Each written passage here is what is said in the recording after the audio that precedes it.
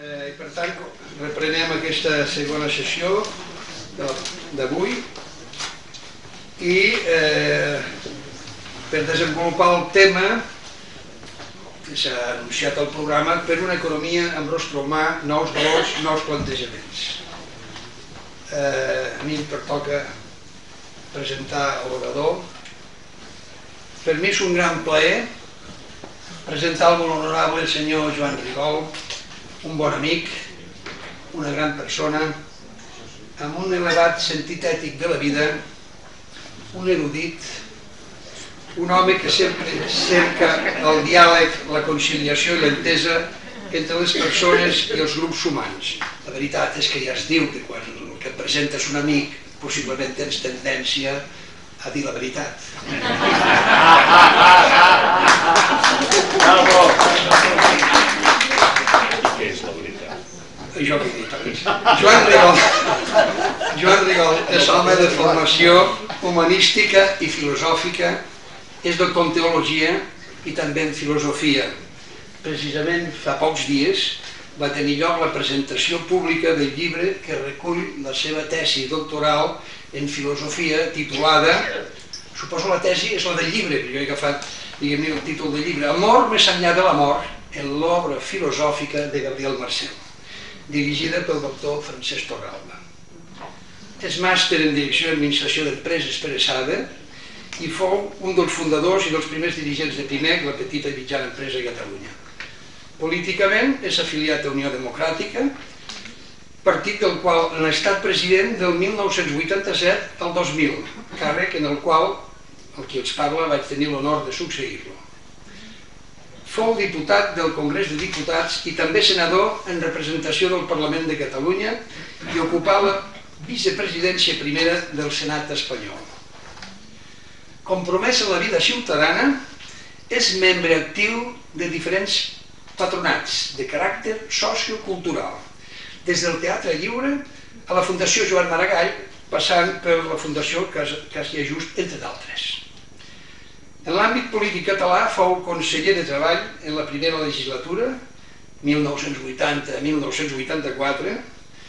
A continuació, i durant la segona legislatura, fou conseller de Cultura als anys 1984 i 1985, lloc en el que promogué un pacte cultural amb totes les forces polítiques implicant-hi un ampli ventall d'intel·lectuals d'ideologies diverses, procurant la coordinació de totes les administracions catalanes en el foment de la cultura. Posteriorment fou diputat del Parlament de Catalunya en la tercera i quarta legislatura, del 88 al 1995, i a l'inici de la sisena legislatura fou elegit president del Parlament de Catalunya del 1999 fins al 2003, que va exercir el càrrec. El seu pensament sociopolític, de profundes arrels d'humanisme cristià, l'ha donat a conèixer en publicacions, els llibres següents, que per les seves pròpies denominacions reflexen els temes de la reflexió i preocupacions d'en Joan Rigol. Els títols són concretament, dic perquè els títols són expressius diguem-ne del seu pensament. Crisi i país, de l'any 1984, Poble i consciència nacional, 1986, Propostes i reflexions per al catalanisme polític, 1989, Política i comunitat, el meu nacionalisme, 1996, Camins de diàleg, 2003, Compromís polític i sentit cristià, del 2005, Dignitat de la persona, 2008, i Política, les meves conviccions, 2010, als quals hauríem d'afegir el llibre de la seva tesis doctoral que abans s'ha esmentat. Finalment, i per la seva rabiosa actualitat, cal esmentar el rol obert i integrador de l'expresident del Parlament, Joan Rigol, exercint com a president i impulsor del Pacte Nacional pel Dret a Decidir, que el passat dia 19 de febrer va celebrar la seva segona reunió al Parlament català per visualitzar l'aposta que la societat civil catalana fa reivindicant la celebració d'una consulta al poble català per a que aquest pugui dir quina és la seva voluntat de futur. Cal destacar que en la trobada hi eren representades més de 1.500 entitats i partits, unides sota el comú denominador de reclamar l'exercici del dret a decidir. Aquest és el tarannà i el perfil del nostre orador. Estic segur que la seva visió d'una economia ètica al servei de les persones i la comunitat ens donarà més arguments per avançar cap a un ordre mundial més just que s'haurà de plasmar cap a un nou model econòmic global orientat al bé comú, com diu la presentació d'aquestes jornades, si ho dic literalment com a president, per tant, del grup de pensament social cristià i com a coorganitzador del present cicle em plau cedir la paraula a l'honorable senyor Joan Rimó. Moltes gràcies.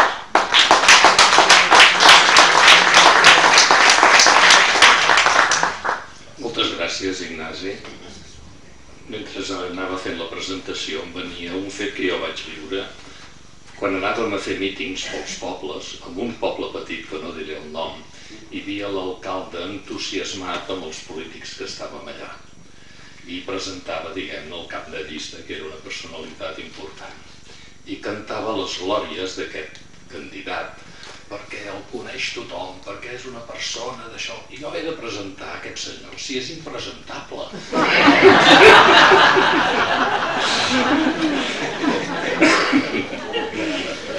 A veure, jo demano un canvi de xip perquè ara no parla un expert, perquè no ho sóc, del que diré, sinó un ciutadà que s'ha dedicat a la política, que ha procurat estar a prop de la realitat que li ha tocat viure, i parlaré de percepcions que tinc d'aquest entorn. I segur que cadascú de vostès té la seva visió. Jo avui ofereixo la meva, modestament la meva, i si n'hi ha d'altres, doncs benvingudes siguin, eh? perquè la realitat és prou complexa com perquè cadascú la pugui veure de la seva manera. Els hi explico el recorregut que penso fer amb aquests tres quarts d'hora. El rostre humà de l'economia avui. Intentaré fer un flash en aquest sentit. Aleshores passaré a dir, i aquests problemes que té aquesta persona tenen una dimensió global. I entre la política i els problemes hi ha una dissociació total que fa que la política se li escapi i que vagin altres mecanismes a condicionar aquests grans problemes. I arribaré a una primera part que diré hi ha una crisi sistèmica que l'estem visquent tots plegats del sistema econòmic en el qual ens belluguem. Faré un pas següent i miraré d'explicar quins són els criteris per una economia més humana que la que tenim ara. Intentaré fer unes propostes en aquest sentit, que ja els hi avanço, quan les penso se'm converteixen en utopia, però jo sé que la utopia em serveix perquè els passos vagin en la bona direcció. I després de tot aquest recorregut intentaré explicar-los com veig jo que seria el rostre humà d'una política econòmica molt més humana. Si els sembla, faria tot aquest procés. Primer punt. Què està passant en aquests moments, per exemple, amb un senyor que pot estar passant per aquí, pel carrer Casp Làuria, o Llúria, perdó. Doncs segurament ha sentit que hi ha un rumor a la seva empresa de que estan a punt de fer un ERE. Ell té 50 anys, té tres, tres persones que estudien a la seva família i els ingressos fonamentals són els que ell porta. I està angoixat perquè no veu com i de quina manera es podria trobar si aquesta era li toca amb ell. Segon, hi ha una persona que té una pensió de jubilació de la qual en viu també una part de la seva família i que se li ha baixat aquest any el seu poder adquisitiu i pensa com acabarà la seva pensió perquè no té la seguretat de que li vagi, diguem-ne, adequant-se en el nivell de vida que li correspon. I aquest pare que té tres fills es pregunta, i els meus fills trobaran feina aquí hauran de marxar? Sortir a fora és bo, però com a necessitat no ho és gens. I aquesta és una de les altres angoixes que pot tenir aquesta persona i anem fent i fabricant una societat cada vegada tan dual que la preocupació de que hi hagi una, una certa violència, doncs hi estem anant. Sapiguem que a Catalunya, per sort, això no és així. Però estem, diguem-ne, posant coses cap al límit en aquest sentit. I després he d'estar pendent de la prima de risc, és a dir, si hi ha uns senyors especuladors que juguen amb, la, amb, les primes de risc, això m'ha d'afectar a mi. Qui controla aquests especuladors en aquest sentit? Com poden veure, el ciutadà d'avui viu amb por i amb angoixa. Els que vam néixer després de la, immediatament després de la Guerra Civil d'aquí, hem tingut una trajectòria on el futur cada vegada en general era anar millor, millor, millor. I ara els nostres fills, que s'han educat amb aquest millor, millor, millor, els hi pot trobar en una situació doncs, més aviat de que la seva formació i el seu estatus no es correspongui amb el futur que poden tenir. I això realment és una preocupació molt forta. És més, si em permeten, jo vaig néixer en un poble petit, de cultura agrària, i a la postguerra tot el poble eren pobres, però eren pobres amb una dignitat social absoluta. Avui dia l'atur porta a la marginació i aquesta marginació fa que la gent quedi separada de la societat on vivia. I tot plegat em porta a preguntar-me el següent. Jo sé que durant tot el segle XVIII i tot el segle XIX la humanitat vivia embadalida amb el progrés humà. Però al final de la Primera Guerra Mundial se'n van donar compte que el progrés humà, si anava en contra de les persones, servia per matar més gent del contra. I aleshores, tant l'art com la cultura en general van viure una, una situació doncs, realment confosa. Jo em pregunto, hem anat augmentant el nostre progrés i hem anat tirant endavant i la immensa majoria ha anat pujant, diguem el seu poder adquisitiu, sense oblidar els que quedaven, diguem a la cuneta. Però realment això ens porta a una situació com l'actual, en la qual el ciutadà viu el futur amb por. Aquesta per mi és una de les preguntes bàsiques per veure com i de quina manera s'han d'anar, diguem-ne, afrontant les coses. I ja no parlem d'aquesta dimensió més de casa nostra. Mirin, jo m'he comprat aquesta camisa que porto en uns grans magatzems, però sé que aquests grans magatzems, aquestes camises les fan a Bangladesh. Jo les he comprat a un preu determinat, al baix a l'abast, però sé que porten la càrrega d'una explotació d'uns treballadors que estan a milers de quilòmetres d'aquí. I aquesta és una realitat que no podem oblidar. I sense oblidar allò que sabem de que hi ha tanta i tanta gent a la nostra societat que viu amb un dòlar o dos dòlars al dia. Aquest és, diguem-ne, l'entorn on nosaltres estem. Fixin-se, els països emergents són països grans, la Xina, la Índia, el Brasil, etc. perquè hi ha una massa crítica que és capaç de generar tot això, però a canvi hi ha tota una quantitat de gent que queda absolutament al marge i, i van creant una societat cada vegada més dual. És molt difícil a un petit país subdesenvolupat poder arribar a ser emergent. I amb això vull dir que el problema d'aquella persona que passa per aquí, per la cantonada, i que té el problema de quedar-se a l'atur, o d'unes pensions que baixen i que cada vegada doncs, serveixen menys per mantenir aquell equilibri entre pares, jubilats i fills i famílies que van tirant endavant, que tot això té un arrel absolutament global.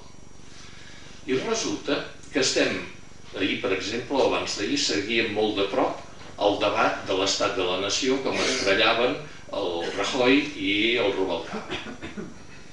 Fixin-se, tot aquest debat estava fet sobre una base com si d'ells depengués les economies que realment decideixen el nostre, diguem-ne, el nostre estatus actual. I tots sabem que això no és així que depenem de la prima de risc, que depenem de les inversions estrangeres, que depenem de 50.000 coses que els superen amb ells.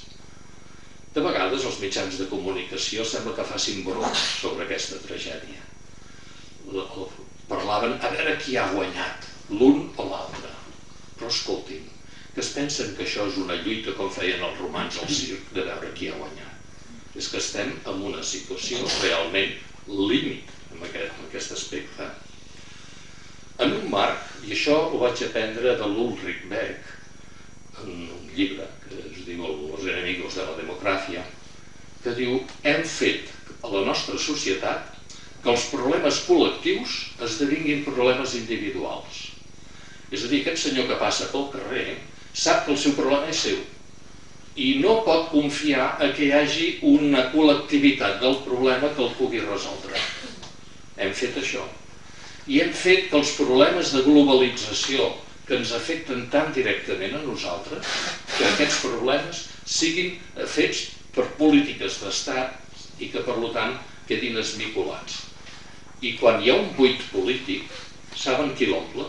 El buit polític l'omple la llei del més fort. I per tant estem davant d'un moment de problemes globals fracturats políticament i dominats pels més forts. Per mi aquesta és una de les situacions que em semblen dramàtiques. Només diré els títols dels problemes que realment són globals i que ens afecten. Ja abans l'Arcadi doncs, anava parlant d'aquelles desproporcions dels més rics i dels més pobres. Deixi'm només dir d'un llibre que els hi recomano, que és del Francesc Reventós, un llibre que es diu Un futur incert, en el que està molt documentat totes i quantificat molts dels problemes que jo els ara simplement els, hi anunciaré. Desequilibris socials, cada vegada societats més duals i cada vegada doncs, els més rics més rics, que ja sabem tots, i els pobres més pobres.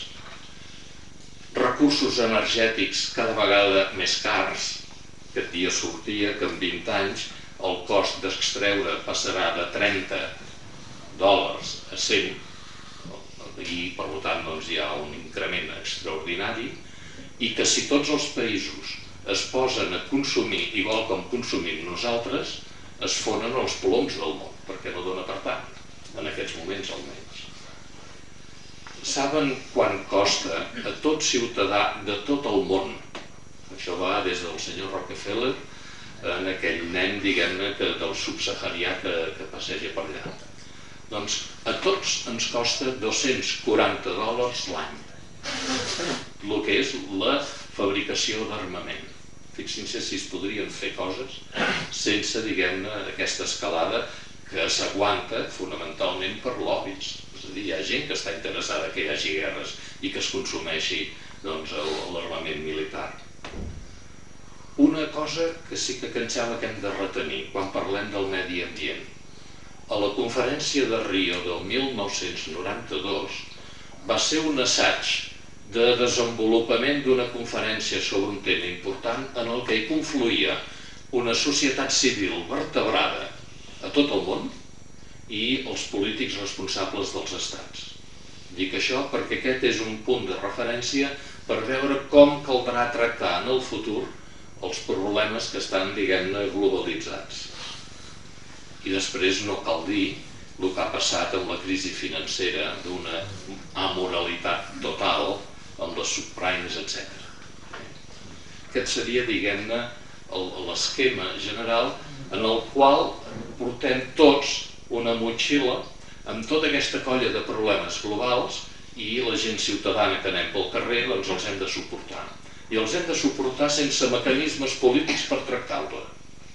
Perquè, després ho diré, els estats són molt, diguem-ne, volen molt el seu propi poder perquè viuen d'això, precisament, del poder. Pas següent. Tot això té un problema que és la crisi sistèmica en el qual estem posats. I voldria ressaltar tres aspectes. Primer, el mercat. Nosaltres hem donat l'última paraula de la convivència humana al mercat.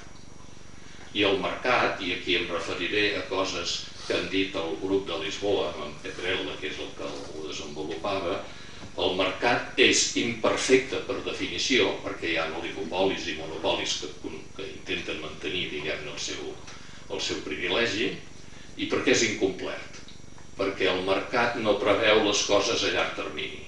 ni permet ni preveu les coses que són necessàries per la humanitat però que no poden ser monetaritzades. I en canvi, la prima de risc, poso aquest exemple perquè és el que hem viscut més aquí, és el que ens condiciona exactament el nostre nivell de vida.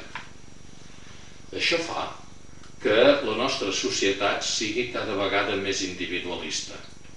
Quan el mercat és l'última paraula, deixem de ser ciutadans i es convertim en consumidors. Molts de vostès segurament recordaran l'Eric Fromm, que quan érem joves era un punt de referència fonamental. En, un, en el seu llibre pòstum, que li van agafar els, tots els papers que tenien al seu calaix i el van publicar, ell explica que el gran drama del segle XX, parlava de finals del segle XX, era que ens havíem convertit en productors consumidors i havíem deixat de ser ciutadans. Volia dir que per consumir havíem de produir i per produir havíem de consumir. I quedàvem enclavats, diguem-ne, en aquesta situació. Aquest és, diguem-ne, al meu entendre, un dels drames importants de la nostra societat perquè hem posat l'economia com l'únic índex per veure l'èxit o el no èxit, diguem-ne, de les coses que van, que van passant. Evidentment, una societat individualista impera l'economicisme.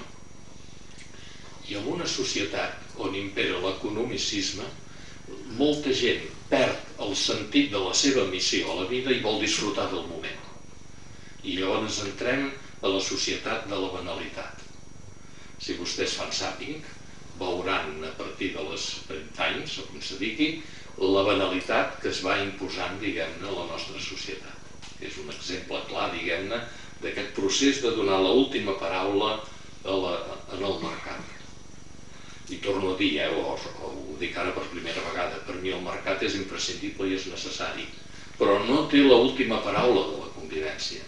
I li hem, tots ens hem tornat homo econòmicos, i per tant hem concedit que sigui el mercat el que ens vagi decidint una mica la nostra situació. Hem pervertit, al meu entendre, el sentit de la competitivitat. Competitivitat en aquest àmbit vol dir ensorrar el teu possible competidor. Competitivitat vol dir competent.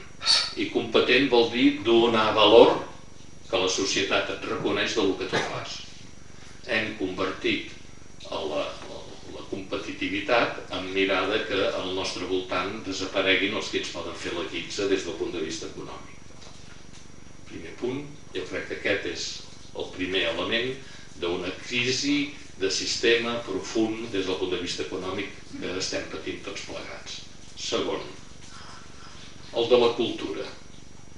La cultura hauria de ser l'antítesi de tota aquesta situació perquè és l'edificació dels valors interiors, personals i col·lectius. Això és la cultura. Cultura vol dir capacitat creativa per part del qui té el do de la creativitat, que vol dir superar l'estricta convencionalitat i buscar noves dimensions. Vol dir capacitat contemplativa pels qui no sabem tenir creativitat, que vol dir veure les coses no per la seva utilitat, sinó pel missatge que ens donen a la nostra vida interior. I cultura vol dir capacitat crítica, que vol dir no voler mai despersonalitzar-nos, sinó tenir sempre la condició de subjecte davant de les coses. Si això és cultura, i vostès miren com es genera en aquests moments la política cultural, hem convertit la política cultural en mercat cultural, en producte cultural, en empresa cultural, en, en consum cultural i aquí hi hem perdut l'element fonamental d'una societat que és la dignitat cultural d'una persona. I hem entrat a la roda d'instrumentalitzar la cultura en funció de l'homo econòmicus, per dir-ho així ràpidament. I aquí els mitjans de comunicació hi tenen una responsabilitat extraordinària. No només els mitjans de comunicació, els periodistes he dit el mercat, he dit la cultura, i l'altre gran element de la crisi sistemàtica és l'aplicació política. És a dir, fixin-se que hem convertit la política en una confrontació endogàmica entre els partits polítics entre ells. I per tant hem fet desaparèixer de la política el que és la relació directa amb el propi, amb el, amb el propi ciutadà. Hem convertit la política en interessos de partit i amb interessos d'estat, no de comunitat humana. Després m'hi referiré amb això. I sempre, recorden aquella expressió que va fer en Clinton amb el Bush pare, que havia acabat de fer aquella invasió a l'Iraq i es pensava enfocar la campanya electoral enardint el nacionalisme nord-americà perquè havia arribat fins a Bagdad, etc. I surt el Clinton i li diu no és això, és l'economia, estúpid, li va dir. L'únic que mesura l'èxit polític és el grau de nivell d'estat del benestar de la gent. I punt. I no hi ha res més que això. Fixin-se com hi ha hagut aquest reduccionisme tan i tan important del que és la política en aquest punt i convertim la política també en termes de tecnocràcia. No és tant el debat ideològic sobre el futur i el futur a llarg termini, sinó veure com podem embolicar el líder perquè guanyi més vots. I aleshores la gent que fa d'assessor d'imatge té una importància extraordinària. I molts dels ciutadans diuen aquest m'agrada perquè em cau simpàtic, aquest en canvi doncs no m'agrada. És a dir, convertim el debat polític en un mercat de simpaties. I això és una altra reducció extraordinària de la dimensió política dels nostres ciutadans. I després, allò que és propietat del poble, que són les institucions, és el govern, és el Parlament, és l'Ajuntament, és el que sigui, això molt sovint ho convertim entre altres coses perquè molta part mediàtica necessita la seva morbositat i encara ho, ho, ho multiplica per molt, ho convertim en trinxeres dels partits polítics. La gent es pensa que el Parlament o el govern és del partit que guanya les eleccions i no és veritat. El Parlament és del poble i el govern és del poble i les institucions tenen els seus objectius institucionals i els partits, que lògicament han de confrontar, perquè aquesta és de la vida política, però han de supeditar els seus objectius als objectius de les institucions. I això costa Déu i ajuda. Costa molt. No només aquí, eh? és, és, és general a tot arreu. I nosaltres, a davant de tot això, què podem esperar? I ara vindrà coses que poden semblar, diguem-ne, utopia però jo sé que les coses tenen el valor pel pas concret que es fa. Però he de tenir un horitzó, perquè si no tinc un horitzó a llarg termini, converteixo tota la meva vida, diguem-ne, social i cívica i política en pura tàctica i en pura estratègia. Per mi, quins són els punts de referència? Home, la doctrina social de l'Església per mi em representa molt d'aquesta reflexió és de la Populorum Progressio, de Pau VI, Caritas in Veritate, del Papa Benet XVI, Evangelium Gaudium, de l'actual. Són punts de referència que si ens els llegim i ens impregnem d'ells, donen un sentit d'humanisme dintre del món econòmic extraordinari. Segon element, que l'economia sigui l'economia real per sobre de l'especulativa. Aquest dia en Joan Major m'explicava, i ara no me n'en recordo, que en el producte interior brut dels de Estats Units l'economia especulativa està pujant d'una manera extraordinària i la real doncs, més queda, va perdent terreny. I en aquests moments fa molts més diners un especulador a darrere d'un aparell informàtic que no un empresari que té 300 treballadors i que ha de buscar feina i que ha de pagar el sou al final de mes, etc etc. Aquesta és la, trista realitat i coses que passen, per exemple, a Gran Bretanya, que esclar, no els hi treguis el que significa la zona, diguem-ne, financera seva, perquè allà, doncs, i, per ells és imprescindible. És a dir, l'economia especulativa està per sobre de l'economia que realment aporta dents, diguem-ne, en el conjunt de la societat. Un altre element que hem de tenir present és que si els problemes són globals, necessitem governs globals, perquè si no, allò que els deia abans, manen els que tenen més força. Quan hi ha un buit polític, manen aquests. I de vegades, fixin-s'hi bé, de vegades fan crítica al món polític d'una manera despietada aquells que després esperen poder-se posicionar a dintre d'aquest buit. Tinguin-ho present, això.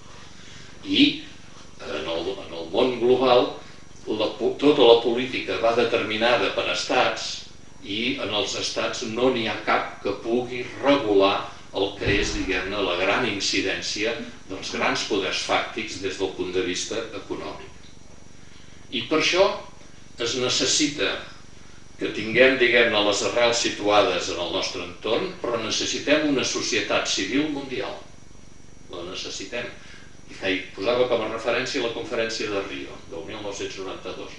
Nosaltres necessitem que hi hagi una corrent forta des del punt de vista de la societat civil. I necessitem la formulació d'una ètica mundial. Amb això els hi recordo, almenys per mi m'ha servit com a punt de referència, el gran treball de Hans King en el seu llibre Una ètica mundial per l'economia i la política. Que allà hi ha un gran treball en aquest sentit de buscar, i especialment des del punt de vista religiós també, de trobar aquests punts mundials de coincidència sense el qual el món no és governable i el món només llavors es va, va funcionant a través d'interessos estrictament econòmics. En aquest sentit també val la pena, perquè ho ha publicat aquesta casa, el secretari de Justícia i Pau, un, llibret, perdó, un manifest sobre les finances al servei del bé comú i la pau, de Mario Toro. Abans, amb el, amb el Fred Pastor, ha sortit el tema del bé comú. Realment ell té tota la raó, jo crec que el bé comú és tot allò que fa que puguem viure en comunitat. Permetin-me una distinció que aquesta és de Ferdinand Tonis, que és fonamental. En tota convivència humana hi ha dos aspectes, l'un com a societat i l'altre com a comunitat com a societat, nosaltres necessitem una certa estímul i una certa competitivitat per anar progressant cada vegada més.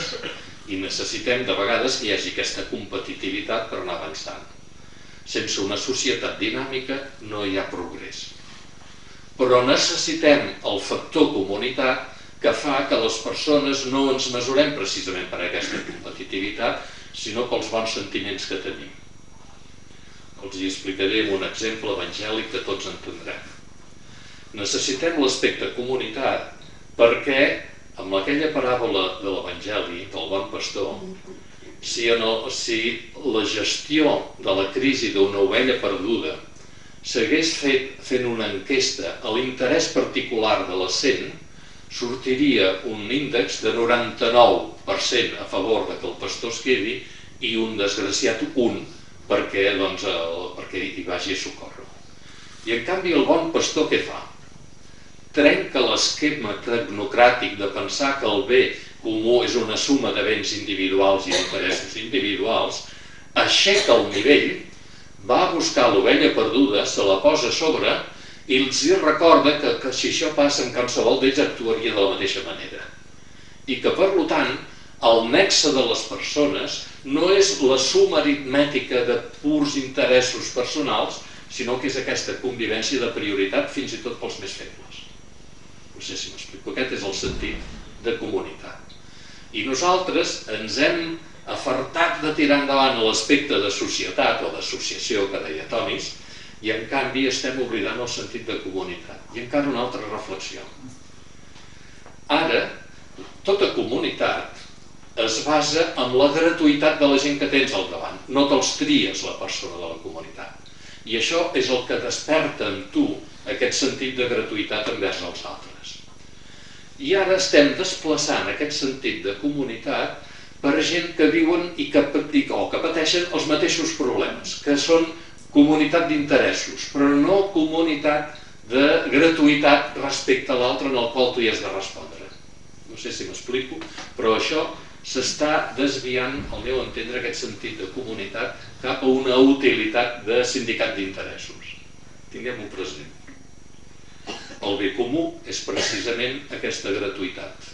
aquest regal que deia el, d'això. Aleshores, lògicament, llegint aquest, aquests documents de la, de la doctrina social de l'Església, veiem una cosa que ho formulen d'una manera molt simple i en canvi és d'una complexitat tremenda. Es tracta de que l'economia es posi al servei de l'home i no l'home al servei de l'economia. Això ho entenem tots de seguida, però això és d'una complexitat extraordinària, que només s'hi arriba a pas a pas i per aproximació. Però què hem de tenir aquí per poder afrontar això, amb totes les limitacions agudes i per haver? Primer, hem de tenir present que el nostre món és tot el món. És a dir, la globalització no és només de mercats o de duanes, la globalització és de persones. I perquè sigui de persones, nosaltres hem de tenir el nostre imaginari, el conjunt de tot el món. I hem de saber viure-ho amb el mateix drama en què nosaltres vivim un problema que tenim a prop nostre, doncs també ens ha d'influir allò que passa lluny i tan lluny. I amb això hem de fer un esforç d'anar contracorrent dels mitjans de comunicació perquè a l'hora de dinar Tu vas menjant el primer plat i t'ensenyen tres morts i quedes impactat però continues menjant. Després et vindrà doncs, un terratrèmol que en mata no sé quants. I després, i tu d'anar menjant, i després arriba l'hora del cafè i ja s'ha acabat. A veure, el tercer món no el podem viure només a través de les notícies del telenotícies. El tercer món és una vinculació espiritual que nosaltres necessitem amb ell per poder viure en dignitat el nostre present i el nostre aquí. Aquest per mi és un primer punt, diguem de, de, de referència en aquest sentit. I després, esclar, allò que els hi deia de la meva camisa que la fa una treballadora de Bangladesh, de Dhaka, que li deuen donar una misèria absoluta i que doncs, aquí ben posada doncs, en, el, en els grans magatzems doncs, pot fer fins i tot un cert goig. A veure, nosaltres necessitem una visió global de la dignitat del treball. No pot ser que hàgim de viure de l'explotació dels altres. No pot ser això. No dona, diguem-ne, la dimensió de la distribució de riquesa que es necessita. Necessitem una formulació del treball de justícia distributiva i remunerativa. I això és bàsic i després m'hi referiré d'una manera més, més concreta. A veure, per la governança global es necessita que sigui democràtica i per tant impulsada per la societat civil i es necessita que tingui el principi de subsidiaritat, és a dir, que no vagi de dalt cap a baix, sinó de baix cap a dalt. Ho comentava ara fa una estona amb uns que moltes vegades la incomprensió de lo que ens passa a Catalunya amb l'Estat és que no entenen que això va de baix cap dalt perquè ells estan acostumats a una política que va de dalt cap baix. Tanco el parèntesi, eh? i no hi torno. Segon, cal com el pa que ens mengem una reforma global del sistema financer. No pot ser que aquells espavilats de Lehman Brothers dels Estats Units després ens intoxiquin amb els paquets que feien d'aquestes hipoteques a tot el sistema financer. I no pot ser que aquí després passin el mort a les preferents que baixis això. Doncs necessitem una regulació del sistema financer. I sobretot també, al meu entendre, es necessita un canvi de, de, de, de xip en el sentit següent. Nosaltres necessitem la política de la concertació o del contracte participatiu. Referiré allò que passava a Rio de Janeiro. Els estats tenien unes preferències i la societat civil, de tots els grups ecologistes, en tenien unes altres. Es necessitava que hi hagués la concertació dels dos àmbits, perquè tots dos tenien part de la seva veritat, per anar a una política de concertació i no a una política de veure el més fort que s'imposi sobre l'altre. Això en política és molt difícil, perquè un cop has guanyat les eleccions ja tens legitimitat per manar. Doncs bé, això és imprescindible que tinguis la legitimitat per manar. Però la política són dues coses. És aquesta legitimitat i és la credibilitat que t'has de guanyar cada dia. Normalment aquesta credibilitat la gent se la vol guanyar 15 dies abans de les eleccions següents. Doncs no. Has de tenir credibilitat en cada un dels teus passos i has de superar allò que de vegades s'invoca de dir no, no, una cosa és l'ètica de la responsabilitat i l'altra és l'ètica, diguem-ne, personal. Escolti'm, el polític ha d'ajuntar les dues ètiques i ha de ser un exemple de comportament amb criteris de bé comú i a la vegada ha de tenir l'ètica de la responsabilitat per governar situacions molt complexes. Aquest canvi regeneracionista de la política el necessitem si és que volem ordenar, torno a repetir, els problemes d'aquell senyor que passava fa una estoneta per aquí. Eh? Aquest per mi és fonamental.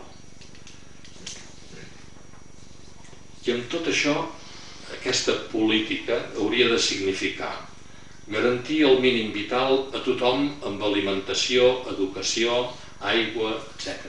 Això ho diu el Hansky, el lletret hauria de garantir això. Hauria de promoure les identitats culturals sense que es tanquin amb elles mateixes, sinó com a projectives en el conjunt del món. I abans es parlava de que el nacionalisme era un individualisme. Depèn depèn dels nacionalismes. Una cosa és el nacionalisme de Hitler i l'altra és el nacionalisme d'en Prat de la Riba, per exemple, que el que fa és aixecar el nivell de la societat amb uns valors i a la vegada obrir-los a la modernitat. Per tant, ja aquí, si, si vedem, ens colaran de que el nacionalisme és una cosa que s'ha de rebutjar i és el que ha aguantat aquest país durant molt de temps. Torno a tancar el parèntesi. Nosaltres necessitem que la globalització, i això ho he tret del grup de Lisboa, que em sembla que té raó, estem fent mercats comuns a base de reduir duanes i poder facilitar el comerç. Però això el que facilita és la mà d'obra barata dels països subdesenvolupats. Això el que provoca és això. Necessitem que hi hagi una política de llocs de treball i de visió global de tot això per grans zones regionals de tot el món. De tal manera que el progrés sigui viscut també per Ghana en, els, en el subsahara, subsàhara, no només com una torna de la dinàmica econòmica dels països avançats, sinó que ella formi part també en tot un conjunt ample del progrés mundial. Si no, sempre aquests van a remolc i tenen, diguem-ne, la torna. Aquest per mi és un dels altres punts ja dic, jo no hi entenc, però he dit la font d'on el trec, és aquesta. I després, i aquí acabo, tenir el coratge de pensar que les empreses no són només pel capital ni pel mercat, sinó que són també per la dignitat del treball. Per mi el gran repte del segle XXI és que el treball no sigui un factor de costos, sinó que sigui una aportació personal a la viabilitat de l'empresa. I que això vol dir el següent, que el valor més important que tenim tots, els que som aquí, és el de la nostra llibertat. Entenem per llibertat no poder fer el que et doni el gust i la gana, sinó entenem per llibertat aquella capacitat creativa que tots tenim per vincular-nos als altres. I que, per tant, quan dic treball, no dic fer el que et sembli, sinó fer allò que passa pel teu cor i que tens necessitat de vincular-ho en el teu propi entorn. I per mi el sentit del treball ha d'anar per aquí. I hem de mirar que la promoció de treballs tinguin aquesta dimensió humana i que això s'ajusti també amb tots els altres aspectes de la vida d'un ciutadà, perquè necessitem el ciutadà compromès en la prepolítica abans, això ho deia l'Alfred Pastor, i té més raó que un savi. La família, la família, és allà on aprenem a estimar gratuïtament, perquè els nostres pares ens han ensenyat a estimar perquè ells ens han estimat sense demanar-nos res a canvi. I això que sembla tan senzill, això és la base i el fonament de la convivència humana, que hem de tenir aquesta dimensió gratuïta vinculada precisament als altres, a la família. I després hem de fer allò dels cercles concèntrics. I aquests valors sapiguem-los a traslladar amb un civisme actiu a tot el nostre entorn. Civisme no vol dir no només tirar papers a terra, sinó que vol dir tenir preocupació perquè el teu entorn doncs, tingui això, aquesta actitud. I vol dir tenir el treball, tal com intentava definir-lo ara, amb una actitud també en aquest sentit.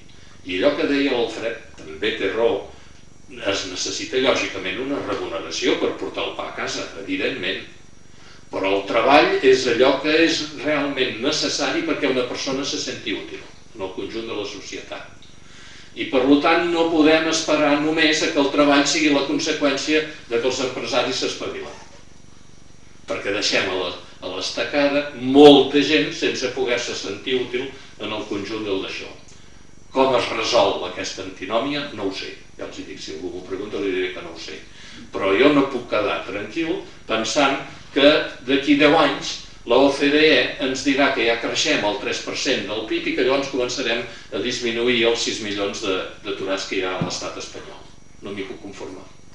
Perquè condemno en vida a un conjunt de ciutadans que no puc fer. I torno a repetir, no sé com es resol, però no puc estar tranquil amb aquesta situació. I ara un altre d'aquests petits parèntesis que serà el tercer. I el tancaré de seguida. A veure, estem en un moment en el que estem intentant veure l'horitzó del nostre país. Que no sabem com hi arribarem. Sabem, això sí, que hem de fer passos i un darrere l'altre ben fet. I quan fas un pas ben fet, fer el següent ben fet, fins a arribar a allò que vol l'immensa majoria del nostre país. Però paral·lelament, mentre vas fent aquesta trajectòria, has de donar a entendre quin és l'horitzó del país que vols. I això vol dir que hem de fer un debat per veure com en plena sobirania som capaços d'anar-nos apropant al màxim possible a una dimensió de la convivència humana que hi hagi el gran dinamisme de la societat, però que hi hagi sobretot el gran gruix del sentit de comunitat. I per tant això exigeix també un debat. I un dia o altre l'haurem de fer. Però a mi m'agradaria que anéssim avançant cap al nostre futur, també elaborant aquest desig de fer un país el més ben vertebrat per dintre amb tota aquesta colla de valors que si exceptuem, ja ho diré gràficament, el 2 o el 3% de gent, diguem-ne, que és indesitjable, el 90 i pico per cent de la gent és bona gent amb ganes de remengar-se i de tirar endavant. Aquesta és la convocatòria, diguem-ne, real del país que volem. I l'altre és un mitjà per aconseguir-ho. I aquest és, diguem-ne, i torno a tancar, eh, perquè... I no el deixaré obrir durant el diàleg, eh? Aquest és, diguem-ne, l'horitzó cap allà on hem d'anar. Més o menys aquest era el circuit. Jo crec que tenim un món de por i d'angoixa, en general, i hem de treballar per un món on la llibertat tingui tot el sentit que lògicament ha de tenir. Eh? Aquest seria el resum del que he intentat comunicar-los. Moltes gràcies.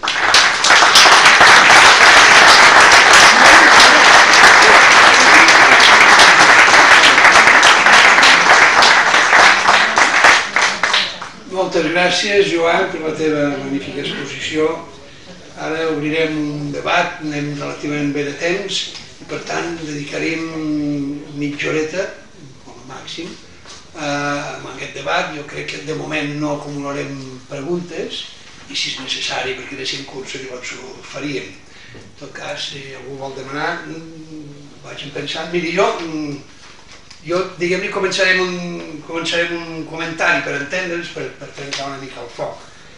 Fa poques setmanes el Col·legi d'Economistes eh, ha organitzat o va organitzar un cicle que és eh, sobre eh, cinema i economia. Eh?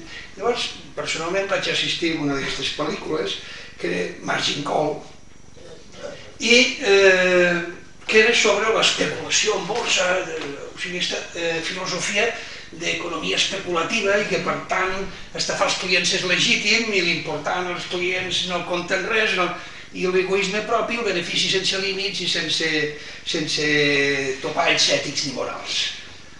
Va, vaig quedar una mica diguem deprimit per, per aquesta, diguem aquesta sensibilitat, aquesta mentalitat. Tant és així, perdonin l'experiència personal, bueno, l'experiència personal, que als, als pocs dies he anat a veure dues pel·lícules comercials sobre el mateix tema. Eh, per, que són el lloc de Wall Street, on potser vostè l'haurà vist, i la gran estafa americana. Bueno, dic tot això perquè el conjunt jo he sortit, diguem una mica deprimit, deprimit pensant que aquesta és l'escala de valors que de regir el nostre món malament anem. I per tant, eh, podem avançar en aquesta escala de valors. Ja has fet referència que cal canviar el sistema financer, però en tot cas, diguem-ne, són temes molt visibles i molt propers i alguns de vostès els haurà viscut, fins i tot a la pantalla. Gràcies. Mentrestant, sí, prenc nota de... Ignasi, tu i jo vam tenir un, mestre que el vam compartir, que era el senyor Coll de l'entorn que deia, quan li diguin que no hi ha res a fer, vostè no s'ho cregui. L'únic que li estan dient és que està tot per fer. Doncs, realment, tenim molt camp per córrer. I, la, eh, és a dir, de vegades el que sentit d'estar de, deprimit, el, un el temps. Hi ha un amic meu, que és en Roberto Velasco, fa un any i pico va escriure un llibre sobre que el títol era Les cloaques de la economia. Els hi llegiré els capítols que d'això, perquè era un llibre molt ben fet i molt documentat. Primer, la corrupció. Segon, l'economia submergida. Tercer, el narcotràfic. Quart, el blanqueig de capitals. Cinquè, la prostitució. Sisè, el finançament del terrorisme. Setè, el comerç d'armes i d'òrgans humans. Vuitè, l'evasió fiscal. Novè, les estafes tipus Madoff, aquella que va passar. Desè, els paradisos fiscals. Onzè, la informació privilegiada, que és una font de corrupció, com vostès saben, extraordinària. Els escàndols financers i els lladres de Wall Street els auditors sospitosos. Fixin-se Fixin-se si no hi ha abdicació política en tot això. Això només es pot donar per una abdicació total de la política. Només això. Ja no parlo de construir, sinó de que no passin les cloaques aquestes.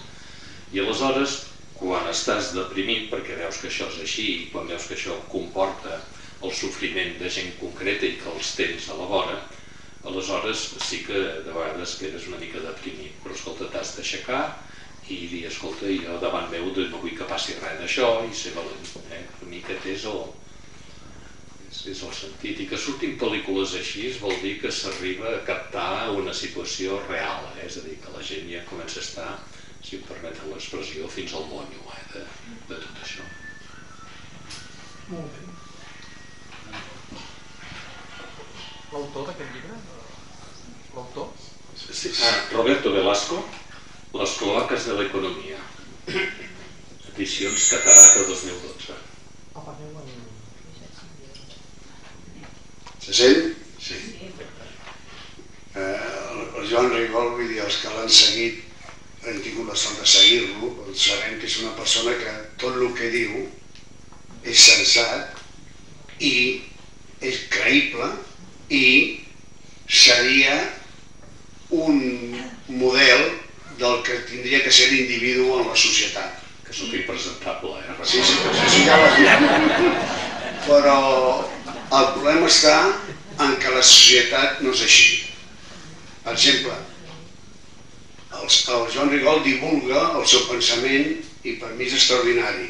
Com per exemple, ara llegiré el pensament d'un altre filòsof que és el Josep Maria Salrac, que va escriure, ha escrit un llibre que es diu La fam al món, perquè estem a la globalització. I sé que el Joan Rigol, com jo mateix també, en aquest cas, em puc equiparar, només el vaig sol, soc sensible al problema mundial i les desigualtats. I el paragraf del capítol que diu ara que cal fer, que és molt curt, el paragraf, diu cal que els governs conservadors més favorables al capital siguin substituïts per governs que apliquin polítiques redistributives i emprenguin un diàleg nord-sud, parla del món, com és lògic, no colonialista del qual derivi un pla global, com apuntava, de transformació de les estructures productives i del desenvolupament dels països pobres.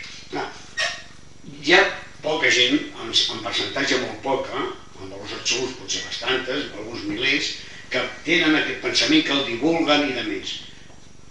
El dia el que s'ha de fer és l'ideal. Ara jo dic, i com es fa això? O sigui, ja està bé el que, el que vostè ha dit i el que diu aquest senyor i el que diuen molts altres. El problema està en com es fa aquesta escala de valors que també tots la coneixem, que si diuen, feu un llistat aquí o una enquesta, quins són els valors? Tots es posarem d'acord. Han de guanyar tots més, tots es posarem d'acord.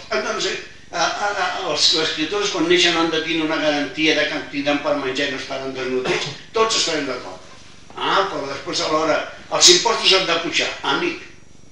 Això ja, ja és una altra cosa. Per tant, eh, jo us agraeixo molt els que feu l'esforç en divulgar els valors, però el problema el tenim a les persones, la resta que no ens dediquem a divulgar-los. Gràcies.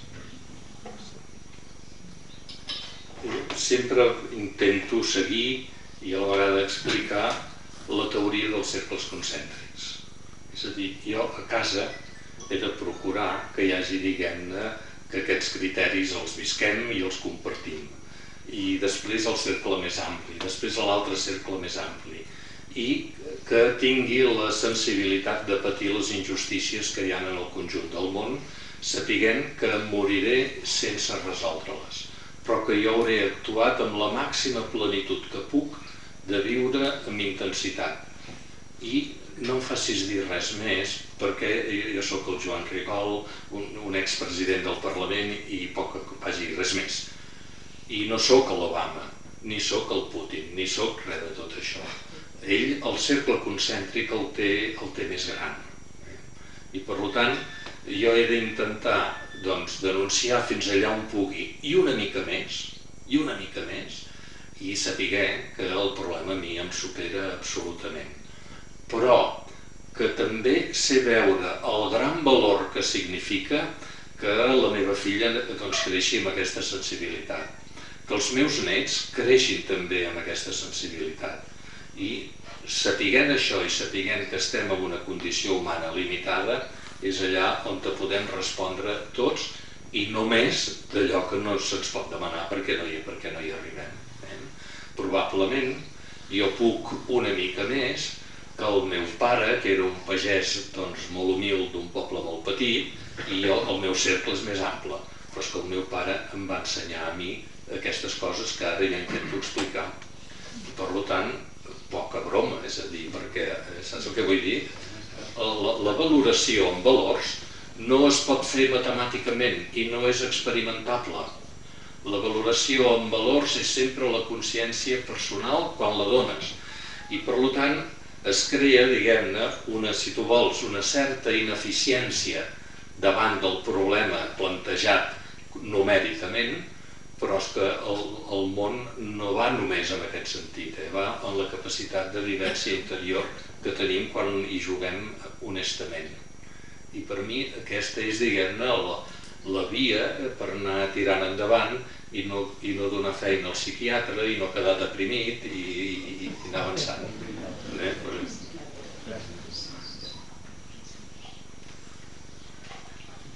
Ara estan allà. Uh, jo baixaré molt d'escala. Jo sóc membre d'una ONG de barri i uh, aquesta ONG des del seu inici fa una gran tasca amb la recollida d'aliments per les famílies des... que, que no poden. Jo sóc partidària de sempre baixar el nivell d'angoixa de qui sigui, però un cop baixat el nivell d'angoixa, i més en aquest cas, jo sóc partidària de mm, fabricar canyes de pescar, no donar tants peixos i més canyes de pescar. Però mm, gairebé estic per, per llançar la tovallola, perquè mm, això que per mi és, és tan obvi, és tan clar, eh, genera desconfiança, eh, genera recels, eh, hi ha una manca de col·laboració en aquest aspecte perquè les persones desfavorides que podrien participar en el projecte el primer que diuen és i quan em donaràs? Quants diners em donaràs? I jo dic, home, això ho hem de crear entre, to entre tots, no? Tu no fas res, doncs participem en això a veure si entre tots podem crear alguna cosa. Bé, la veritat és que estic a punt de llançar la tovallola. Porto tres anys amb el projecte, no me'n surto, estic a punt de llançar la tovallola. Ja sé que vostè ha dit que no tenia solucions, però bé, almenys em surt alguna. A veure, la gent senzilla, la gent que de vegades ha passat penúries i d'això, eh, a veure, el, el perjudici pitjor és el moral, diguem-ne. I és el que la societat els ha situat de dir, bueno, i jo què cobro, i punt. Saps què vull dir? És a dir, per en comptes de desenganyar-te d'aquesta gent, jo crec que el que hem de fer és acollir-los fins i tot amb aquesta, diguem-ne, actitud utilitarista i immediatista que tenen, perquè han viscut amb aquesta societat i perquè s'ho han passat molt malament i busquen, diguem-ne, precisament això.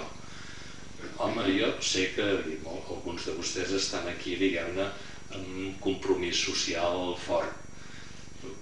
Ens hem i, i, i tractar, vull dir, de la mateixa manera doncs, que un metge ha d'operar a un malalt que li porten que ha tingut un accident, doncs eh, nosaltres hem d'intentar respondre amb aquella persona que ens ha vingut amb tots els condicionants i amb totes les degradacions d'actitud que puguem trobar, però és que no són culpa d'ells, a més. Eh, dic això per animar-la i perquè no ho deixi.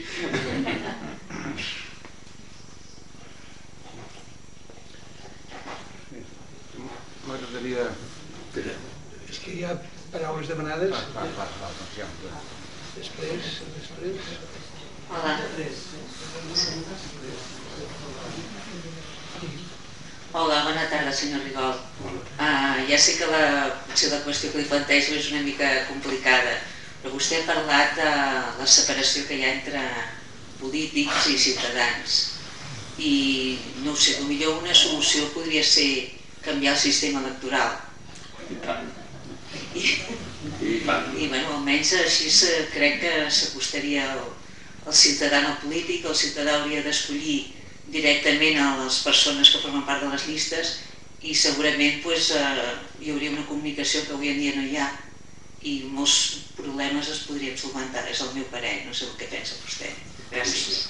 Igual que vostè, penso, en el sentit següent. A veure, els partits polítics eh, han estat molt orientats a ser piramidals i a guanyar eleccions. I els partits polítics, fins i tot ho diu la Constitució espanyola, serveixen per vertebrar l'opinió pública. Personalment crec que un dels fracassos que hem tingut a la política catalana és no fer una llei electoral. En el sentit de que s'ha de fer una llei electoral per circunscripcions petites, de tal manera que el diputat electe estigui en un contacte personal amb la, amb la gent que li toca. Primer punt. Això significa que aquell diputat ha d'obeir a el que li pensa la gent que hi ha de la qual depèn i no a la màquina del partit. I dit això, necessitem partits que siguin una màquina, perquè és que si no, no funcionarien. I per tant s'ha de trobar aquest equilibri. I ni el partit pot tenir el monopoli absolut del vot del diputat, que és el que està passant ara, perquè alguns diuen, home, no cal que hi vagi tothom, ensenyin el número i ja està. No pot tenir el monopoli, però en canvi necessitem la vertebració de l'opinió pública per fer-la operativa a través dels partits.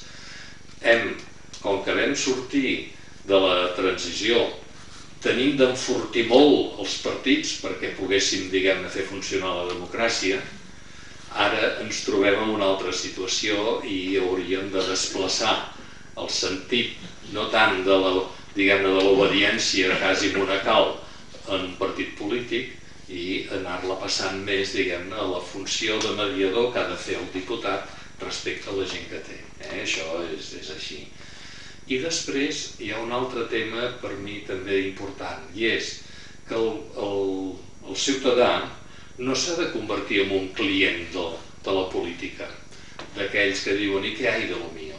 Eh? És a dir, perquè si tu vas als llocs i dius jo et faré aquí un poliesportiu i t'arreglaré la carretera, la gent espera del polític com un masies que vagi distribuint, diguem-ne, coses de cara a la gent.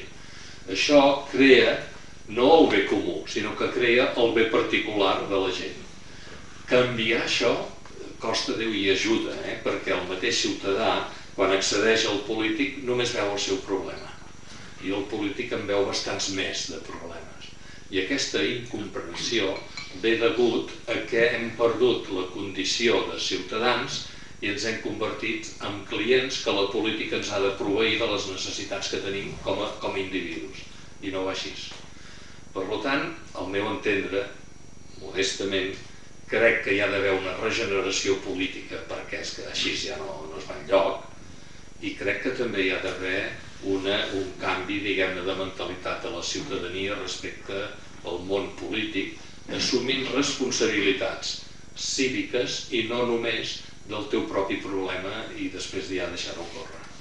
Aquest per mi seria la, el debat que hi hem de tenir, que l'hem de tenir aviat i sé que la llei electoral doncs, hi eh, anirà sortint i sortirà relativament aviat, crec, aquest sistema, eh, que és el sistema alemany que es diu. Que hi ha dues urnes, una en la que votes el diputat de la teva comarca o del teu districte, que és unipersonal, és a dir, tries el que d'això, el que tu et sembla millor dels diversos partits, i si no ho fa bé canviaràs la propera vegada, i després l'altra urna, que és, diguem-ne, per llista de partits, per donar-los força també de, de coordinació de tot el pensament que hi pugui tenir. Bé, això crec que almenys em sembla que va avançant. Toni Gol.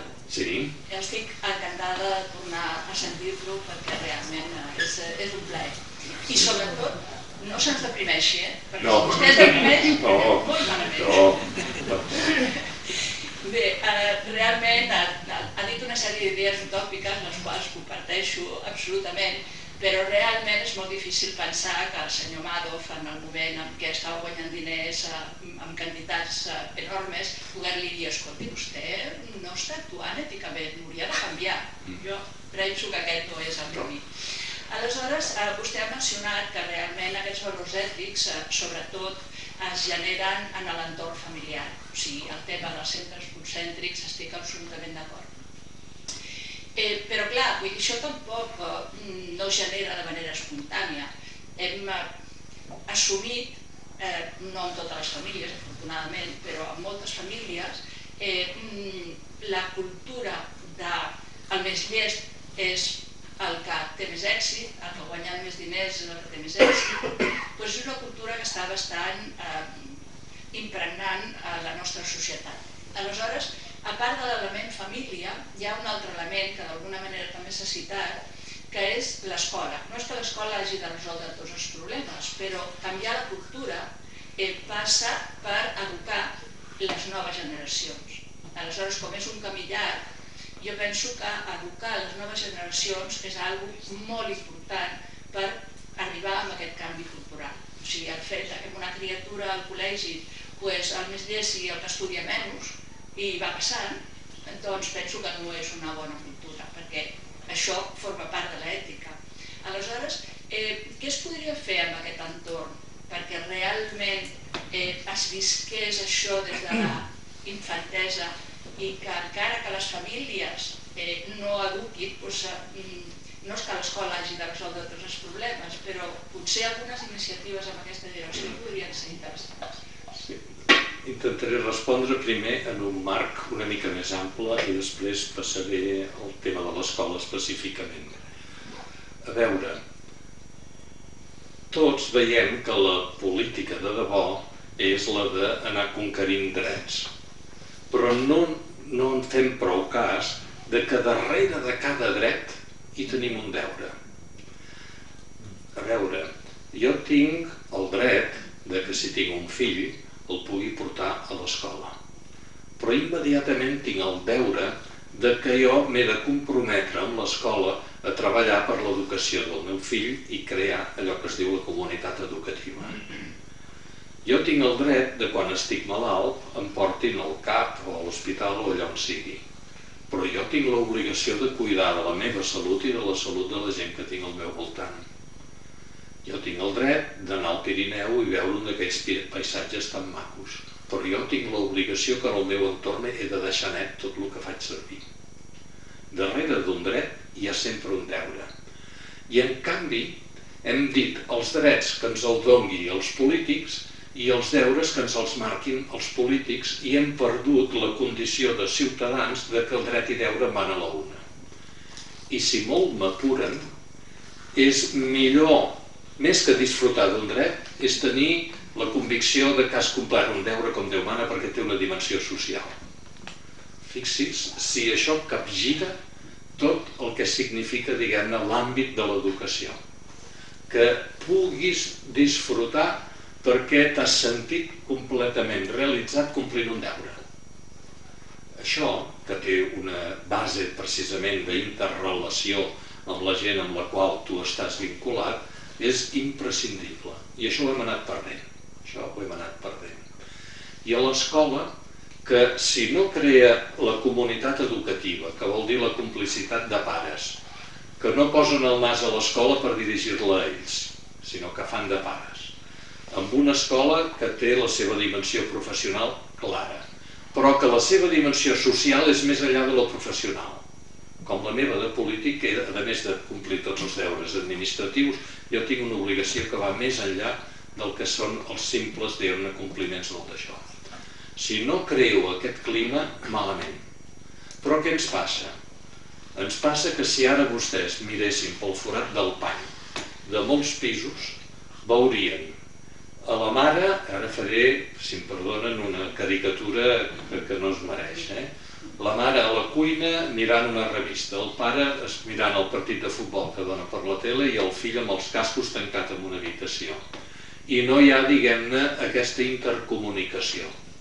I això fa que quan els fills se't fan grans, tu et sembla que els coneixes molt i no els coneixes, perquè no has seguit el seu procés.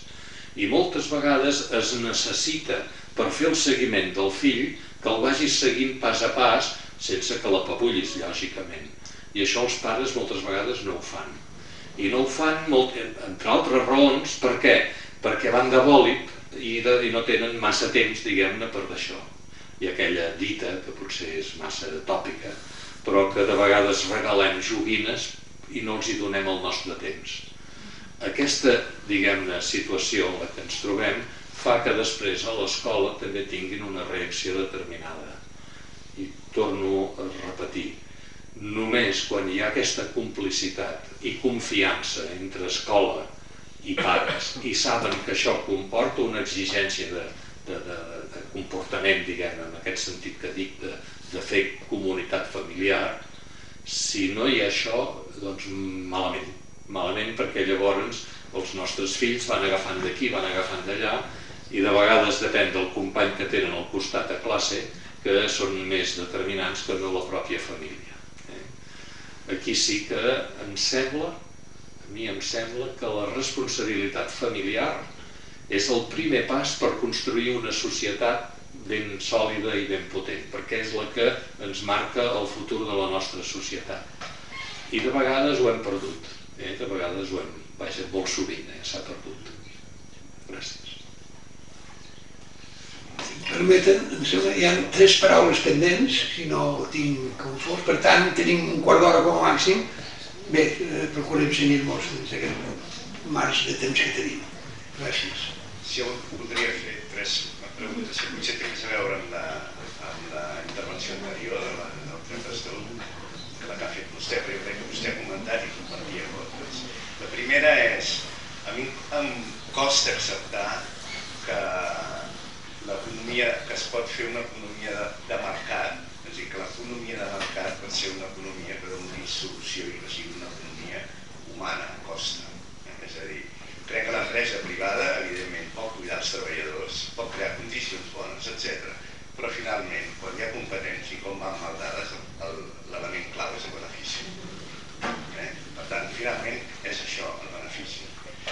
Segona, l'element de la propietat privada. Jo crec que la propietat privada, com ha dit vostè, crec, especialment es necessita un cert nivell de propietat privada perquè és una base per la llibertat, però crec fonamentalment que hi ha massa propietat privada, que hauria d'haver-hi més propietat pública, que hi hauria d'haver-hi un límit a la propietat privada. No? Trobem aquestes fortunes tan és a dir, crec que claríssimament la propietat privada hauria de ser limitada i el màxim possible hauria de ser una propietat pública compartida. I tercer, sembla que tot això es basa en que la, les persones, i això potser ho ha dit més del Fred Pastor, bàsicament ens movem per al benefici propi. No? Ell ha dit que hi ha molt poca gent que es mogui pel benefici de l'altre. No?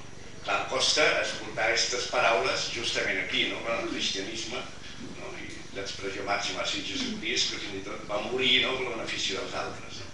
És a dir, costa creure que la condició humana és, està abocada a ser una condició, eh, dit d'una manera una eh, extrema mesquina, no? que és el que veu el...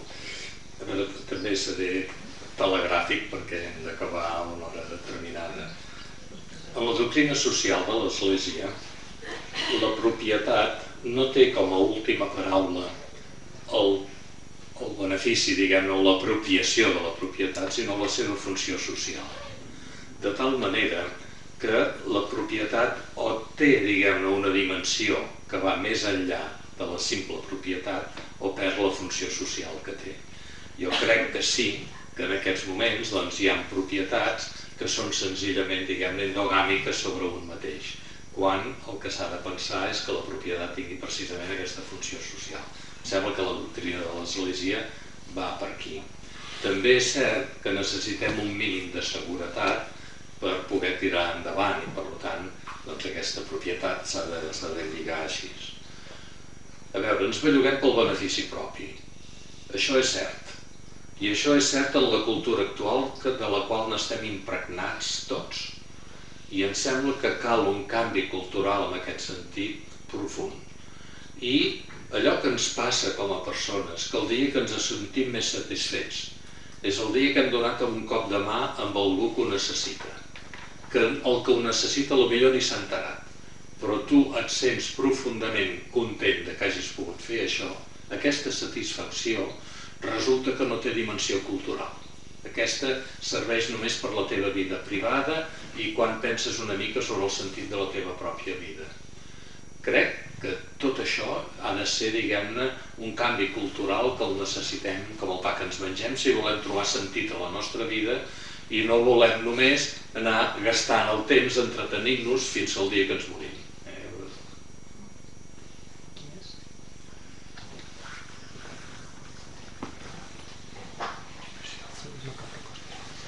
Sí, dues qüestions molt ràpides eh, relacionades amb el canvi eh, imperiós i, necessari i fonamental de, de model, de model mundial. Eh?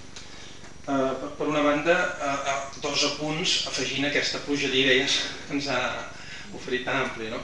I és que penso que seria necessari, fonamental, que els consells de les grans institucions que tenen eh, aquests poders de decisió, un macropoder de decisió, hi hauria d'haver un moralista, ja no dic catòlic, protestant, és igual, un moralista, o sigui, un professor d'ètica, un catedràtic d'ètica i un i historiadors, sobretot. Això és fonamental.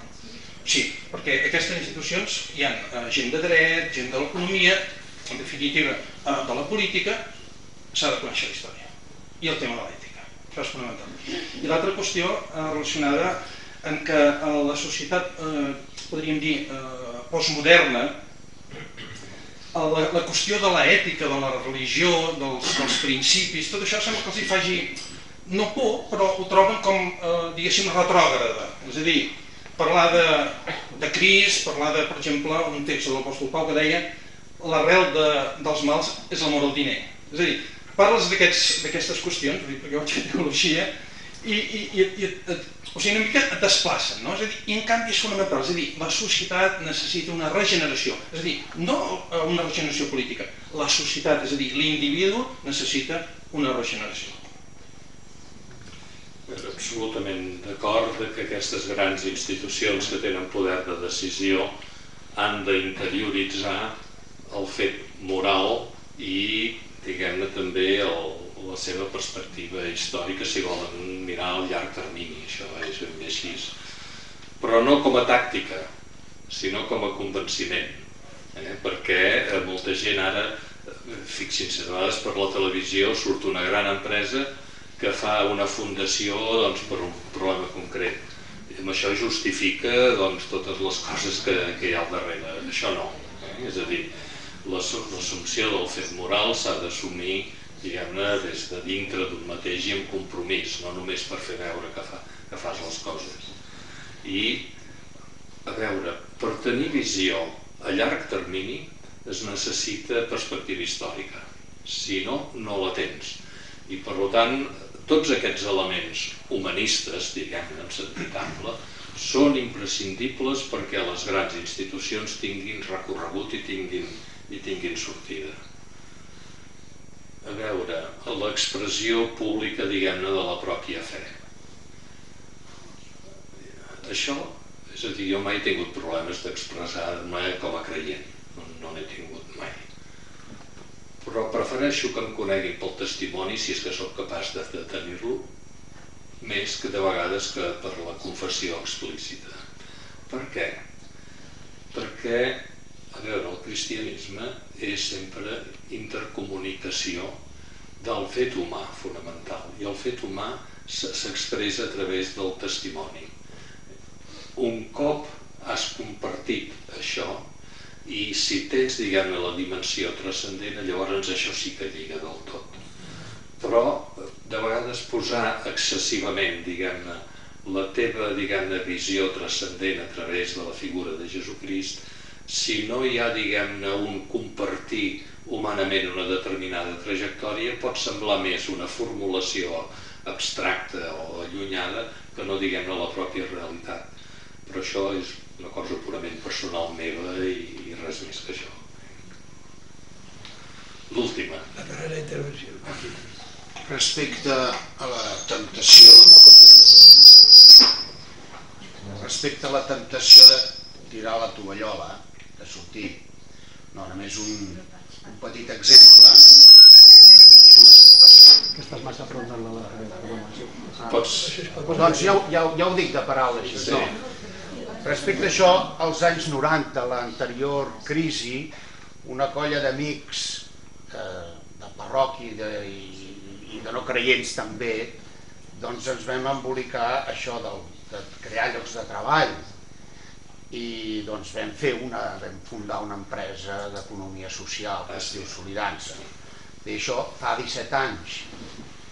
Eh, ara, esclar, cada dia arriben currículs per entrar en aquesta empresa que, que són drapaires i semblem la, la caixa, no? perquè cada dia venen gent que volen treballar doncs, amb, amb aquesta cosa de drapaires. I no podem, clar, no podem agafar tothom. I gent que ve, jo soc el president, d'això no sóc ja un equip, ho porta, però jo soc el president, diguem un honorífic d'aquesta qüestió. Doncs molta gent que ve i que no li podem donar el treball, jo, amb les entrevistes personals que faig amb la gent, els convido a fer voluntariat llavors sí, em basquejo per fer voluntariat. I màxim que es fa, doncs, llavors és poder-los pagar doncs, eh, les despeses, però no cobren un sou. I haig de dir que no tothom s'hi apunta amb això, perquè és allò de dir jo vull cobrar, jo no tal, i dic, no, escolta, no, no, això no ho dona més per si. Però el voluntariat crea relacions humanes i tal, i alguns d'aquests després troben treball. Per tant, diguem-ne, sempre hi ha una possibilitat. I això que vam fer la crisi aquella, jo crec que es pot fer més en aquesta crisi, perquè els que vam fer això no tenien cap idea, diguem-ne, d'empresarial. De, I resulta que ara això té el doble de treballadors, aquesta empresa d'economia social, que la gallina blanca té a Sant Joan d'Espí. Eh? La gallina blanca té uns 25 treballadors a Sant Joan d'Espí, que tot ho ha externalitzat, i nosaltres som una empresa pobra de drapaires d'economia social i tenim més de 50 treballadors, o sigui que no cal tirar la tovallola. Eh?